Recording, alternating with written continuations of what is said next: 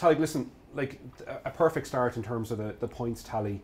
Um, really commanding position in the table, but listen, you guys aren't going to shy away from the fact that there's three massive games which will ultimately define this championship still to come.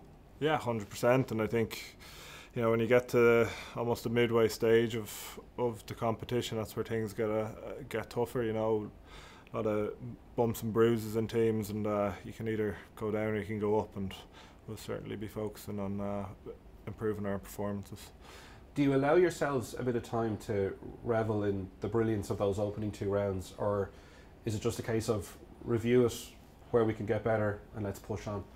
Um, I suppose you gotta you got you got to take your learnings from from winning as well, but um, you also got to appreciate when you've played well in those uh, in parts of those games, and you know we've shown what we can do um, in some of those games for for periods, but certainly hasn't been for 80 minutes. And I think that's that's something we always chase and we're always after is that 80 minute performance, and we're always looking to improve. And um, you know, I suppose the saying goes, when you lose, you always say, "I will learn from this." But we we're very much the same when we win. We want to learn as much as we can from the games and. Um, see where we can improve in, in, in areas where we can improve um, even from those wins is that difficult? Like, does that need a kind of a forensic approach to look at?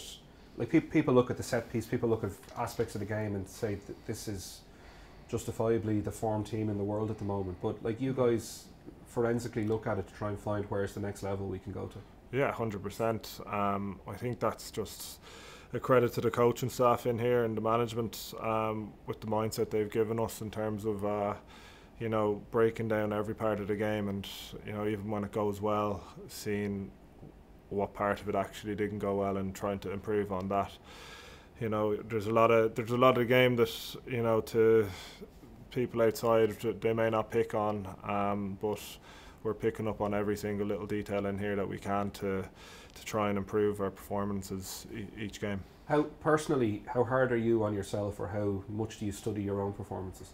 Yeah, I think everyone in here is is hard on themselves, and uh, you know you want to you want to improve yourself, but you want to be the best version of yourself, I suppose, and put out your best performances. So you kind of have to review yourself in detail and um, see where you've gone wrong or what you've done well, and you know either replicate what you've done well going forward or improve on what you've done wrong.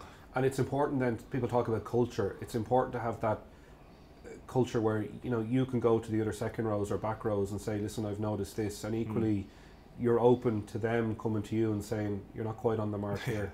yeah, hundred percent. Look, the way uh, you kind of have to have that in team environments. You have to be willing to help each other because we're here for the team. We're not we're not here for ourselves. Um, you know that's that's what we're about. We're we're here to wear the jersey and represent the jersey as best we can. And um, selection isn't down to me. So if I'm not selected, um, that's on me to play better and improve so that I can get into the team. But I can certainly help as best I can to ensure that the team is putting in their best performance. So just say a, a game like Italy where there's rotation of the squad and, and you're not involved. Can you watch that as a fan or do you watch that forensically in terms of knowing the plays, knowing what's expected and seeing how the 23 involved live up to what's expected?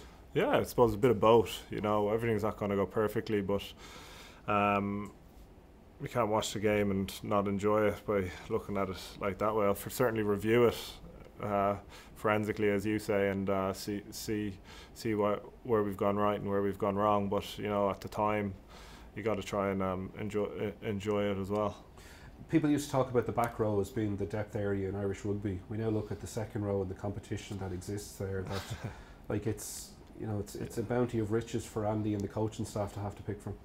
Yeah, look, the second row is an incredibly strong position um, in here. You know, in terms of what we have here in the squad at the moment, and um, some of the guys who've also missed out in the squad. Um, but you know, we're, we're we're very lucky in this country. Um, you know, in Ireland as a whole because we have so much depth in so many areas. Um, from everyone who's in this squad and some lads who've missed out. There's a lot of lads who could just step in and uh, fill in. Um, so, you know, it's a credit to all the provinces as well and the work they're doing.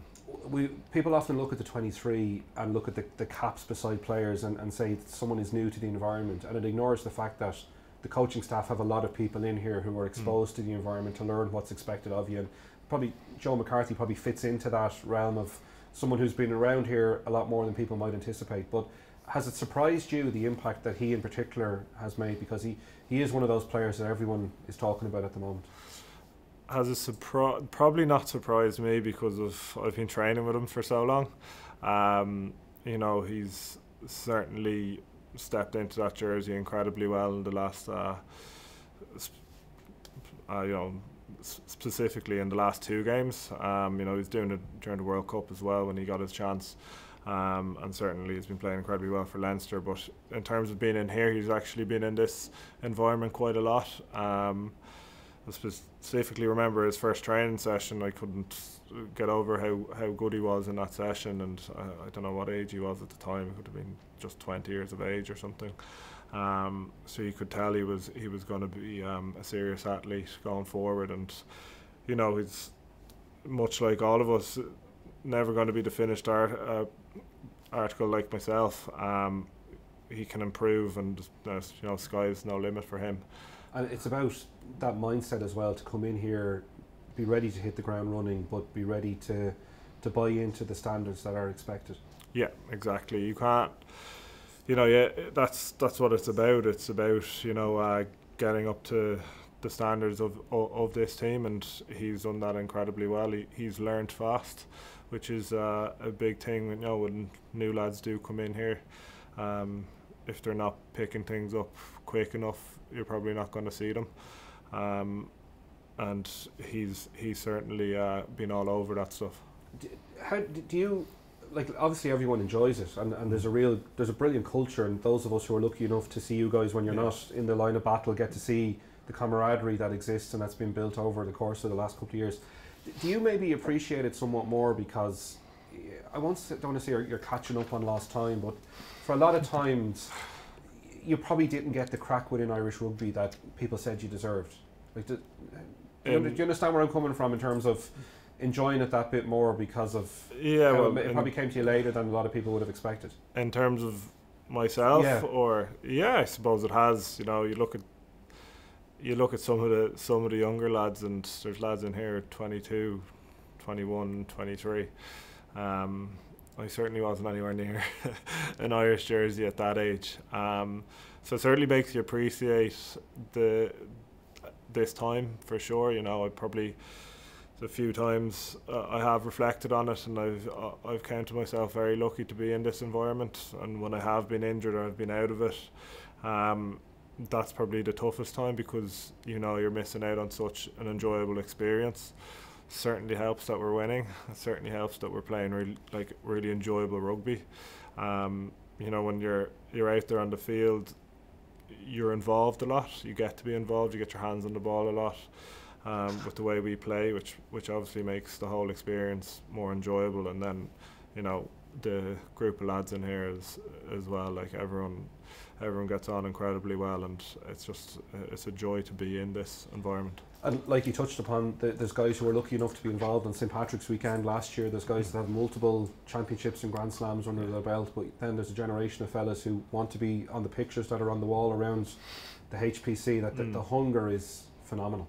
Yeah, and I think that that hunger comes from the success that Irish rugby have had in the past, and um, you know when you see we talk, you know, we've spoken about before in terms about inspiring the nation, and that's what we want to do. We want to inspire people to want to wear the jersey, to want to go out and watch us.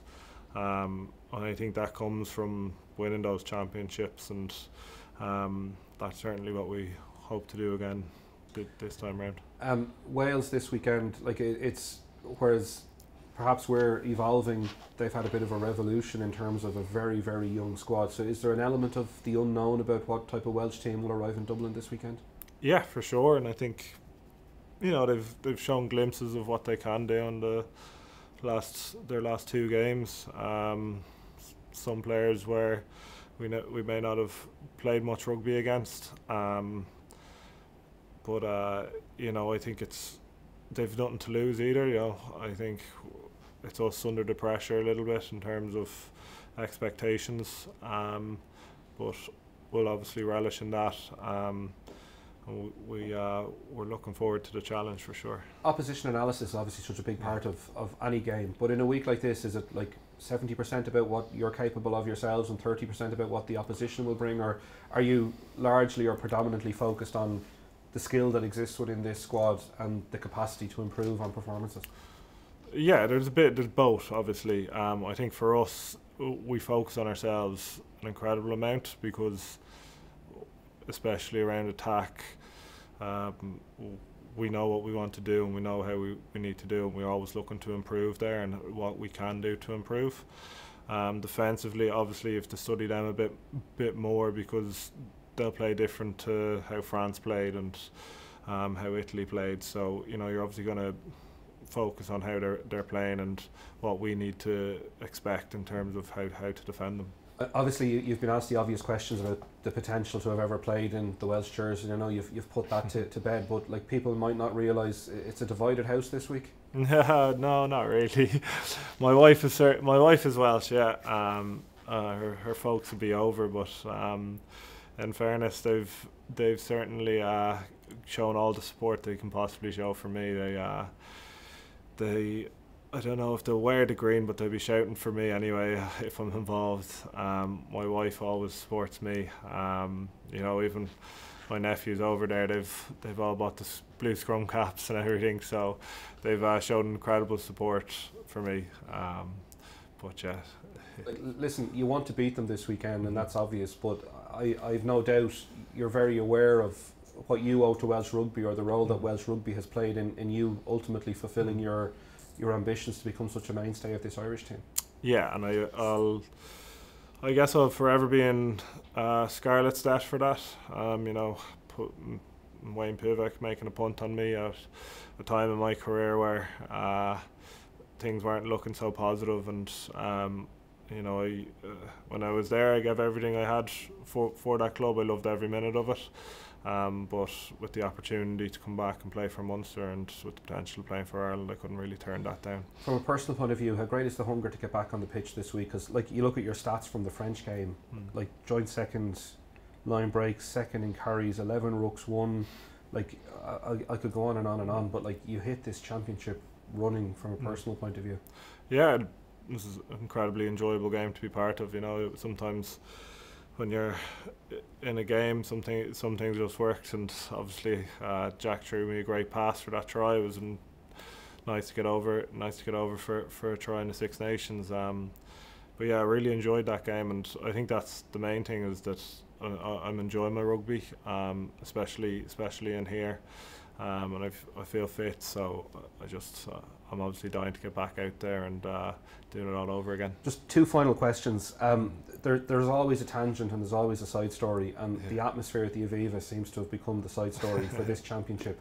Um, how important is that support, and how aware are you of a group of putting a performance in on the pitch that will facilitate people in the stand to turn it back into maybe a more hostile environment than perhaps we've seen on one or two occasions? Um, yeah, I suppose you know the better we play, the the better it is for the crowd, I suppose. Um, but although saying that, the tighter games are, the crowd also get into the games because, um, you know, if they're if they're landslide victories, it's it's probably not so enjoyable for crowds either.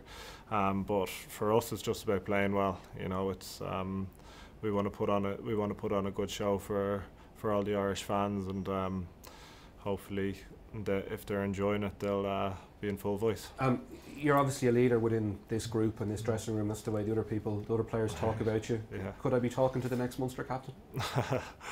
you know, I'd love to ask Wig that. Um, look, if it was if it was offered to me, I'd bite bite your hand off. Of course, I would. But you know, there's um, an incredible amount of leaders within within the Munster squad too, and uh, you know, whoever Wig goes with, will be will be getting right behind.